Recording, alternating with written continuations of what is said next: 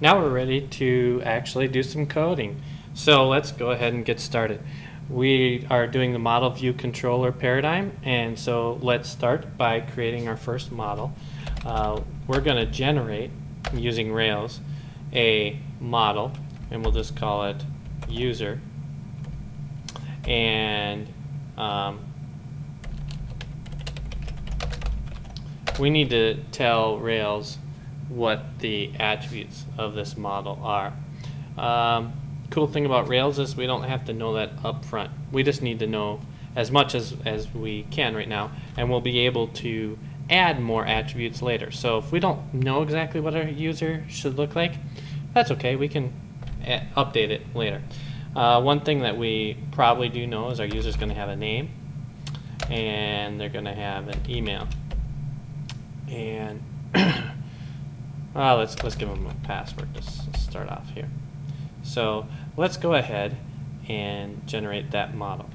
Now, what we can see is Rails is going to create some files automatically for us, and those files will allow us to be able to create a database with that type of a model, uh, have a object that represents that data in the model, and creates a initial testing file for that model.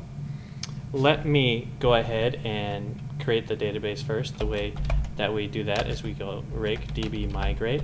And what that's going to do is that's going to look in this db migrate folder and any of these files that are in that folder that haven't been used to create or update the database will be run.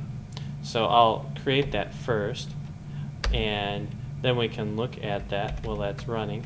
Let's look at migrate and we can see that this is Ruby code that runs to create that database.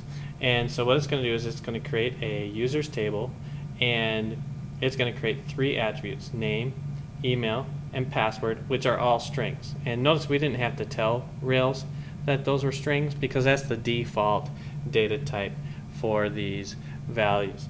If we wanted to use something else like a date or an integer, we will see how to do that, but it's really easy to, to tell Rails to go ahead and create those for us. So we go here and we say run that migration.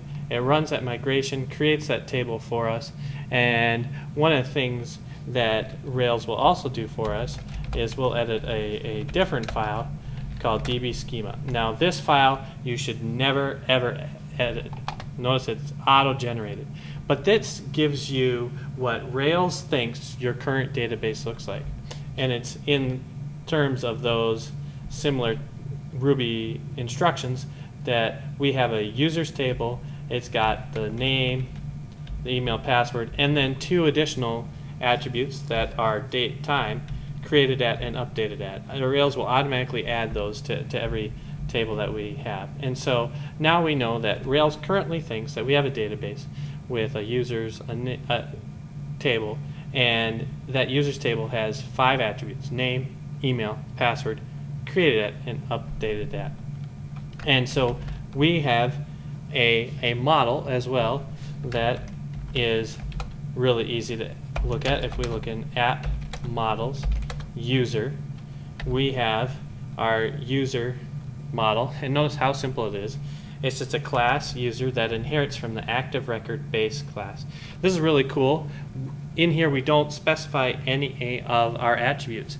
And the reason why we don't do that is because it is super smart. And it looks at our database and says, tell me about the user's table. And the user's table will say, well, I look like this. And I'll say, well, then I'll make myself look like that. Now, how did it know it was the user's table? Because the class is user. And what it does is it pluralizes itself from user to users because this is this class will create an object for one user from the table that holds all the users. And so that's why we have a difference between singular class, plural table in our database. So we have our user class, and it's just going to act like our database. So if we wanted to, we could go ahead and look at that. So let's run Rails console. Uh, normally I'll type Rails C, but just make it easy right now. And what this does is this starts up the Rails environment, but it, and then wraps it around an IRB interface. And we can do something like u equals user.new. And this will create a new user class. And notice that it automatically expects to have a name, an email, and a password. So that if we store those in the database, it, it would work. And so this is, is really nice. How did it know those? It looked at the database. So our models will always mirror whatever the database thinks it is. So if we update the database, our models will automatically update themselves as well. And so this is really convenient. So since we're doing test-driven development, the very first thing we should do is, is write a test. And we know that it created a test for us right here. So let's look at that test. Let's edit spec models, user spec. And now this is uh, pretty simple. We have our user model and we have this pending, which means it's a test that we don't think should pass right now. And so we need to put something in here. So uh, let's do it. And now, what do we know about our, our user model? We know that it uh, expect, uh, well, we need an instance of a user model. So let's create a variable. Let's do, call it let, and we're going to do this, that colon user, and we're going to do user.new, just like we did in the console right down here. And we're going to we're going to use this variable called user to be able to access that user dot new value. And what we would say is expect user to and respond to um, name. And we know that user will respond to name. Notice I didn't give any text here for the it because um, it's kind of self-explanatory. It should, uh, we, we, we expect the user to respond to name, which means that the user has a name attribute. Um, and we can do this again with expect user to respond to uh, email and expect our user to respond to password. And what these three lines do is just look for an attribute with that with the same name as the symbol that's passed in and check that it works. So let's go ahead and, and save this and we can run this now uh, by doing um, it's going to look a little strange we're going to say bundle exec rspec. And the reason why we want to do this is we want to make sure that we use the rspec that we installed for our Rails application. So bundle exec rspec, and it's going to go ahead and run rspec on all the tests that we have so far, all one uh, files with, with three tests, and um, it failed.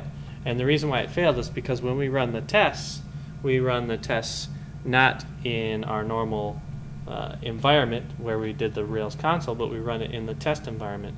And we only created the database for our development testing, not for our formal testing. So we need to rake db um, test prepare. What this does is this sets up the testing database separate from our development database. That way, when you run a development database, you can add things in, use the web interface, and, and make sure it all works. And then when you're testing, you're testing with separate data from what you're running. So now we can run rspec again, and now be able to say, oh, now you've got that database Now I can find what the user should look like, and we've got our three tests passing uh, like we want. Now is our chance. We did our um, red green real quickly um, uh, to do the refactor stage. And the refactor that I'm going to do is this it expect to expect user to doesn't read well and it's very repetitive especially as we add more attributes so I'm going to add uh, this subject uh, and what I'm going to do is I'm going to say that I'm going to assume that user is going to be what I'm testing and so I don't need this expect user anymore uh, expect user to, what I can do is I can shorten that to, oh, let's uh, do this. It should respond to name. Well, what it? Well, this user. So it, it reads a little bit nicer and will make it easier to, to write these tests as well. So now I've refactored the code, in this case the tests, to do what I want. I save those and I run the tests again and now what I get, it hopefully, is three passing examples. And so this is a very quick setup for um, creating a model, setting up the database and the test database, and running some tests to, to, to pass. The next uh, thing that we're going to do is write some tests that weren't automatically set up by our generation and see them fail so now we can actually write some code to work properly.